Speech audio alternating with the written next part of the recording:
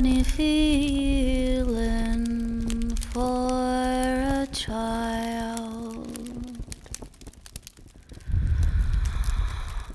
born in the middle